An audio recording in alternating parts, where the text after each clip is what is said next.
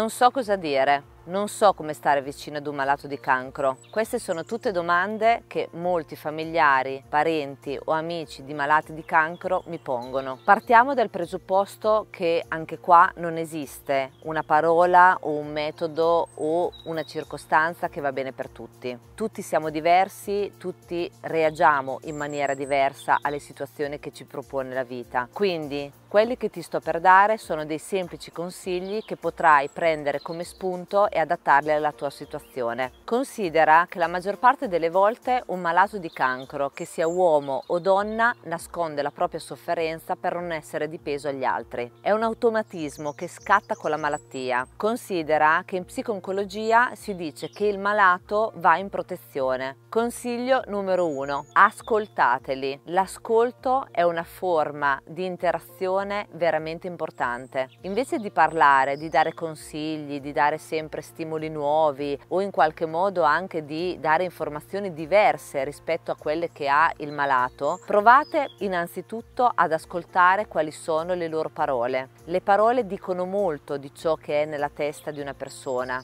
Le parole creano i loro stati d'animo, di conseguenza potrete capire meglio come si stanno sentendo e come stanno reagendo alle terapie.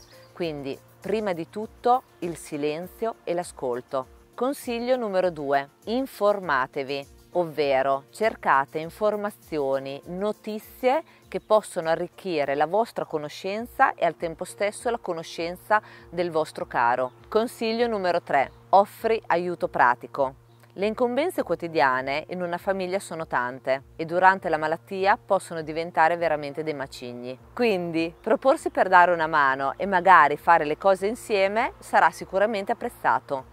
Non aspettate che ve lo chieda il malato, proprio perché l'ultima cosa che vuole è proprio quella di sentirsi un peso per voi. Consiglio numero 4. Siate pronti a ridere, a ridere, a sorridere, a portare leggerezza, tutto ciò di cui ha bisogno il vostro caro malato. Il senso dell'umorismo è una grandissima dote e se ce l'avete non mettetela da parte in questa situazione difficile.